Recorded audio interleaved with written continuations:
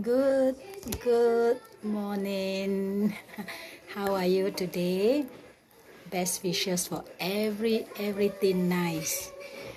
Yesterday, I attended a suicide awareness workshop organized by Befrienders Johor Bahru. It's so nice of them to have such workshops to publicize or to let the community know uh, something about suicide. And one of the take home message that I have from them is that we should ask the suicide question. What do you mean by that? Okay, I pose you a question. Do you think that when we talk about suicide to somebody, we will put the idea of suicide in that somebody's mind. Think about that. The answer is no. We should ask about the suicide question means something like are you suicidal? Do you have any suicidal feelings? If we feel that your friend or that person you're talking to have some thoughts in their mind or maybe they are so agitated and depressed and after talking to you you feel that that there's something not so right about that friend of yours. How about just ask the question do you have any suicidal thoughts? If he or she have no such thoughts he will just say no. But what if he or she has that thought by asking this question, we open up the conversation further.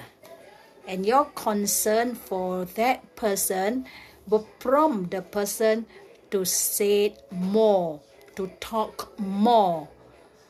So, how about that? By being concerned and daring to ask that question, you open up a big conversation with that person and that person will talk out and speak out more and by talking out more the person will feel better. So ladies and gentlemen do not be afraid to talk about suicide with anyone. Who else would want to talk about suicide? A lot of them will just brush away the subject because in many places suicide is still a taboo subject. So make a difference. Go out and ask the question to the person you are concerned with if you feel that person have lots of issues on their mind just ask the answer could be yes or no and i would like to share Befrienders Johor Bahru or any Befrienders Center in Malaysia, you can always call them if you have any emotional issues because they are there to give emotional support.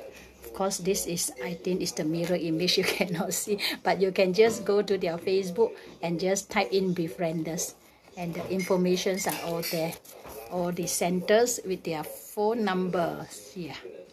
So thank you so much for listening to me. Thank you and have a nice day. And remember, keep smiling and keep laughing.